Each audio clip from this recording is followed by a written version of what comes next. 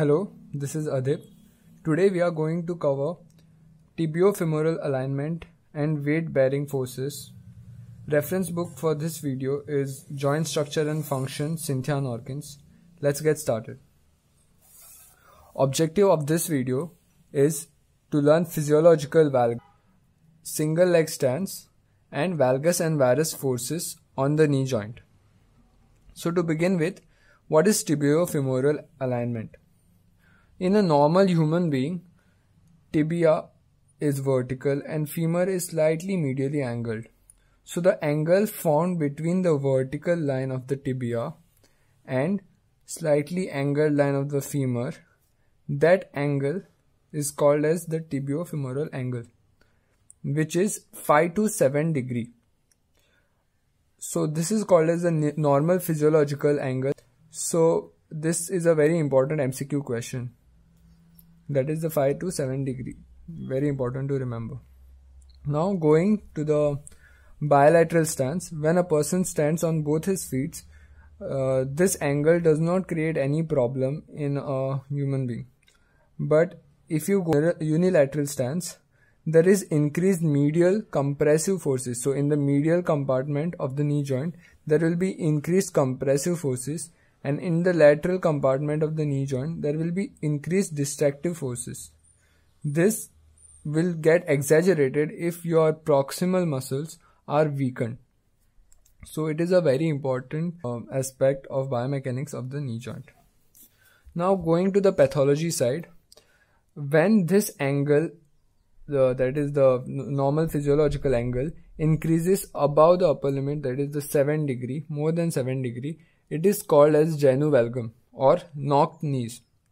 So what happens in knocked knees is there is increase in the physiological angle and this can be caused due to many reasons. One of the reasons would be adductor tightness in cerebral palsy or adductor spasticity in cerebral palsy.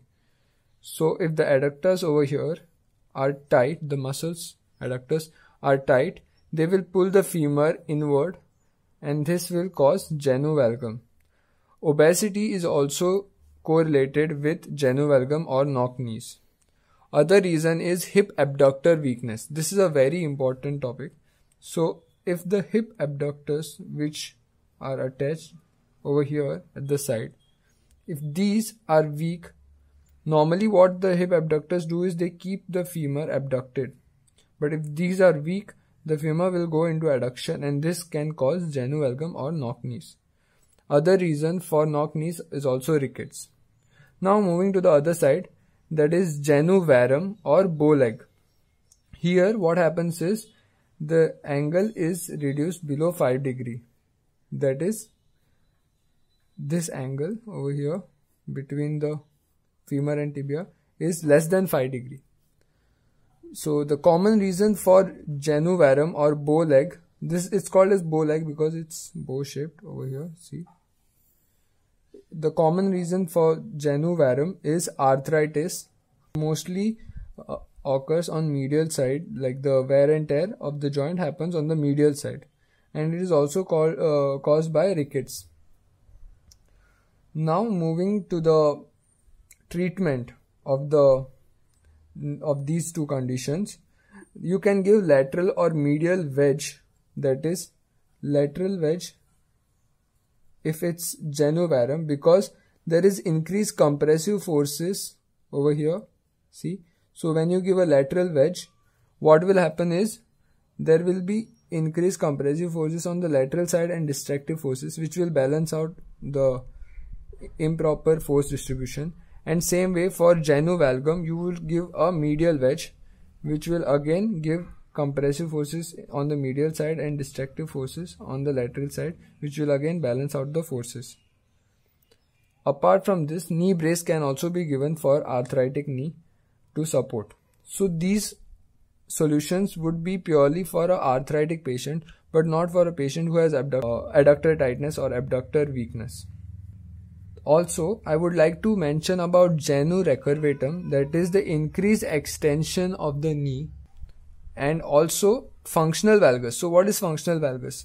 Uh, you might see a person who has normal knees in standing position but when he goes into squatting he, you will see that the knee goes for valgus so that is called as the uh, functional valgus so to summarize we started with the physiological valgus that is 5 to 7 degree normal physiological angle then we went to single extents which increases the compressive forces in the medial compartment and distractive forces in the lateral compartment and then we went to the valgus and varus genu valgus and genu varum where uh, we uh, learned the increase in angle and decrease in angle.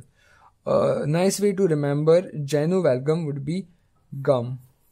So if you imagine a gum over here sticking both the legs together, that would be genu. And genu varum would be rum bottle. Over here, a rum bottle you can imagine, which keeps the legs apart. If you like the content, don't forget to share, like and subscribe the channel.